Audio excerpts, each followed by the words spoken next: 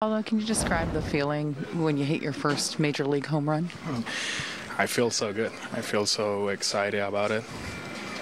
What can I say about that? feels amazing. That one went pretty deep. I mean, after the bat, you knew right away that that was going over the wall there. Yeah, in that moment when I get that that that swing, yeah, I feel off the bat that I got it. Gleyber said on the field he's just so happy for you. You guys have been working so hard to get right offensively. To hear your teammates talk about how proud of you and how happy they are, what does that mean to you? Oh, right now inside of the clubhouse, we are feeling so good. We are working together. The pitcher are doing amazing job. We are the, as a hitter, we are taking good at bats, and I make us like feel so good inside here.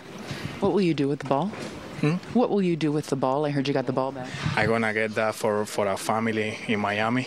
They help me so much, and I'm gonna give the, the ball for, for, for all that family. What's the family's name? Who's Yes, family Blanco Cedillo. How do you know them? What, what's the They are they are the so my the the family of my brother's wife. Okay. And for me, they are like a father and mother too, and she's like my sister too. so we are a good relationship. As you were rounding the bases, what thoughts are going through your mind? What are you thinking about?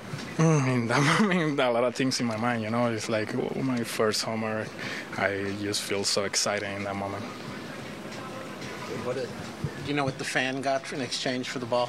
I didn't know, but when I watched the video and I see the guy and I pick it up, like, thank you so much. yeah. Did you did you have to give him an autograph or did you have to meet Yeah, I him? get I get something for him, something some good, something cool. Yeah.